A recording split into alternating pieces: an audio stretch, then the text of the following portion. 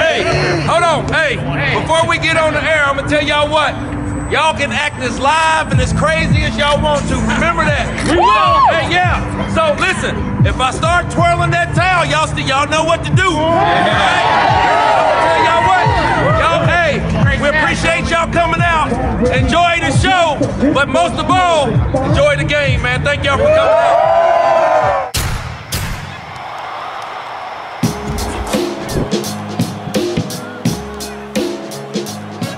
Uh, this weekend was a game that I've been looking forward to pretty much all season and I'd never been to Pittsburgh or seen Heinz Field Stadium but I've just heard the most incredible things.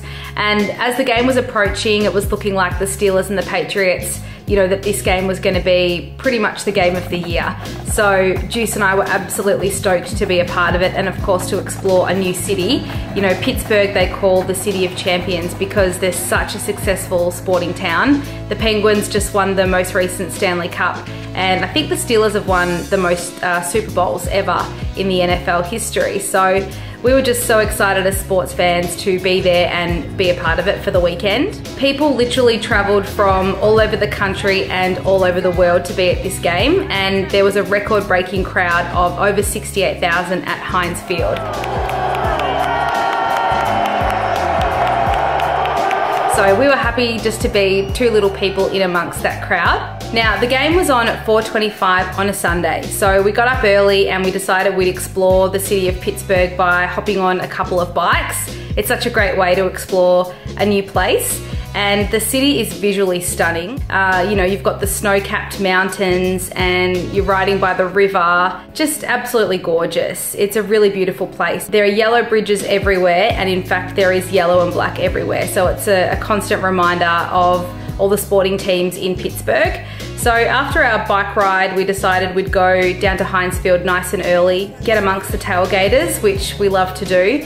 And one of the cool things about Heinz Field is that it's got a great precinct surrounding the stadium. So you've got lots of bars and grills if you want to hang out and grab a, a pre-drink before the game. We were also lucky to be staying in the city centre and it was a 25 minute walk from our hotel over to the stadium. Whenever I can, I love to walk in with the fans. It just feels like a really authentic experience. And you have to walk over this giant yellow bridge, which leads you directly to the start of the precinct around Heinz Field. And the stadium is by the river, so it's one of the most gorgeous stadium setups that I've experienced. Uh, in terms of inside the stadium, I mean, the atmosphere was absolutely pumping.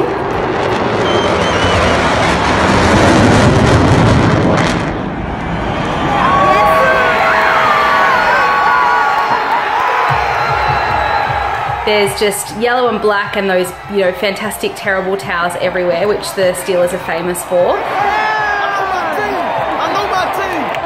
We had amazing seats. We were sitting in the end zone, so right in the thick of it. As part of our sports tour this year, we really wanted to make sure we get to see the stars of the game and also the up and comers. So to watch people like Ben Roethlisberger, Tom Brady, Le'Veon Bell, Antonio Brown, and Juju, you know, it's just that's the stuff that really excites us and we were just sitting a few rows from the end zone so close to the players which is fantastic. It's just so much fun. Everyone's whipping those terrible towels and it's just it's really fun. You can't help but get amongst it. I must admit I did purchase a towel and you can see me whipping it around like crazy. At the end of the day uh, the Patriots got the job done. They do what they do best and they break hearts but there were lots of ups and downs throughout the game lots of emotion and we certainly had a fantastic time